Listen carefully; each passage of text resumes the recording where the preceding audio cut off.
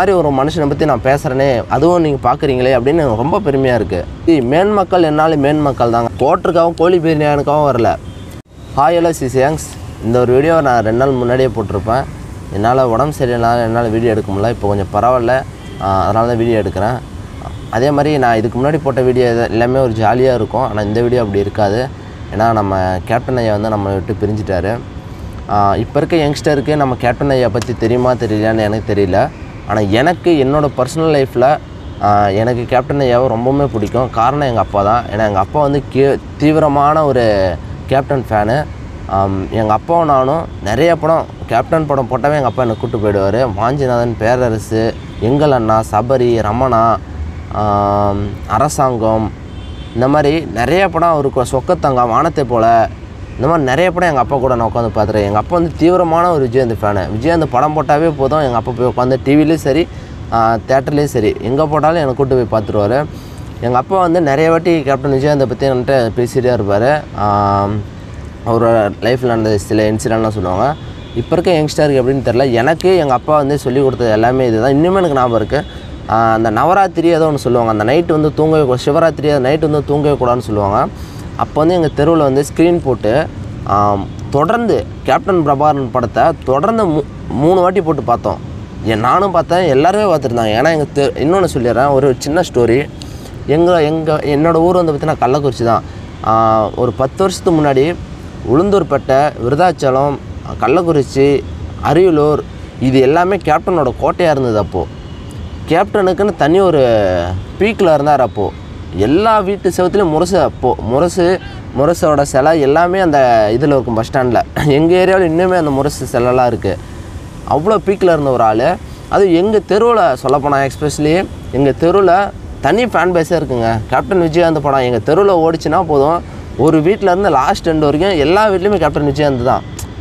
அவ்வளோ பெரிய fan base எங்கள் ஏரியாவில் இருக்குது எங் நான் இப்போ சென்னையில் இருக்கேன். ஆனால் எங்கள் ஏரியாவில் நான் எப்படி அந்த என்வரன்மெண்டில் இருக்கும்? நம்ம ஐயா இறந்தவொடனே நம்ம கேப்டன் ஐயா இறந்தோடனே எங் அங்கே வந்து எப்படி இருக்கும் அப்படின்னு எனக்கு நல்லாவே தெரியும். ஸோ கேப்டன் ஐயா இறந்தது ஒரு மன வருத்தத்துக்குரிய செயல் தான் இப்போ நம்ம நம்ம வீடியோக்குள்ளே வந்துடும் வடிவேலை பற்றி நம்ம பேசி ஆகணுங்க. ஏன்னா சின்ன கவுண்டர் படத்தில் விஜயகாந்த் தான் நம்ம வடிவேலுக்கு வாய்ப்பு வாங்கி கொடுத்தாரு. அதுவும் அந்த- டைமில் சின்ன கவுண்டர் படத்தில் மூணு ஆக்டர் இருந்தாங்க. மூணு காமெடி ஆக்டர் இருந்தாங்க. நம்ம கவுண்டமணி இருந்தாங்க நம்ம செந்தில் இருந்தாங்க மனோரமாக இருந்தாங்க. அப்படி இருந்தால் நம்ம வடிவேலுக்கு நம்ம கேப்டன் ஐயா வாய்ப்பு கொடுத்தாரு. அப்படி வாய்ப்பு கொடுத்த ஐயாவை இவர் வந்து நம்ம நம்ம யார் வடிவேல் வந்து எதிர்க்கட்சி போயிட்டு என்னென்ன பேசுனாங்க தெரியுமா? சரி ஒருத்தவங்க மேலே ஏறி போயிட்டோடனே அவங்கள வந்து தரைகுறை பேசுகிற எந்த ஒரு விதத்தில் நியாயம் இல்லைங்க. அப்படி இருந்தால் நம்ம விஜயகாந்த் ஐயா சரி என்னை பற்றி தானே சொல்லிட்டான் என்னை பற்றி பேசுகிறது அவனுக்கு உரிமை இருக்குது அவனுக்கு பட வாய்ப்பு தாங்க அப்படின்னு தான் சொன்னார் நம்ம கேப்டன் ஐயாவும். சரி மேன்மக்கள் என்னாலும் மேன்மக்கள் தாங்க. என்னதான் தன்னை பற்றி தலைவராக பேசுகிறதுனால ஒரு மேடையில் அவனுக்கு ஒரு வாய்ப்பு தருதுன்னு அப்பயும் கேப்டன் வந்து ஒரு கேப்டனை தான் யோசிக்கிறாரே தவிர அவன் வந்து எப்படி நான் நல்லா இருக்கக்கூடாது அப்படின்னு யோசிக்கல. அது வந்து ஒரு தலைவனுக்கு எடுத்துக்காட்டே இல்லை. இப்போ கூட நம்ம வனகண்டா மாப்பிள்ள தேனியில் இருந்துன்னு ஒருத்தர் பேசுவார்ல அவர் வந்து ஒரு மதுரைக்காரர்.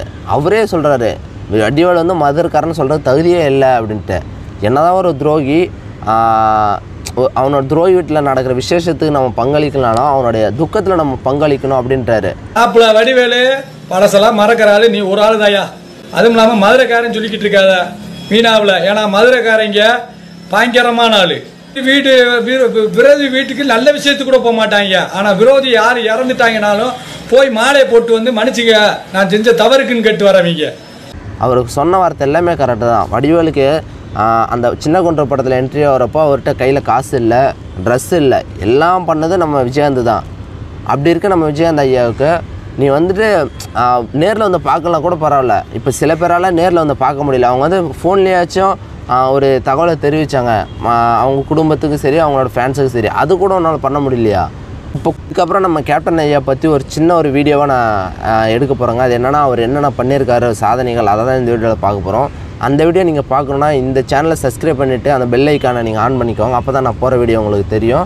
நீங்கள் அப்போ தான் பார்க்க முடியும். இந்த ஒரு வீடியோவில் நான் ஏதாவது கேப்டன் விஜயகாந்தை பற்றி சொல்லாமல் இருந்து உங்களோட எக்ஸ்பீரியன்ஸில் எதாக இருந்தால் அதே மறக்காம காம்பஸில் ஆன் பண்ணுங்கள்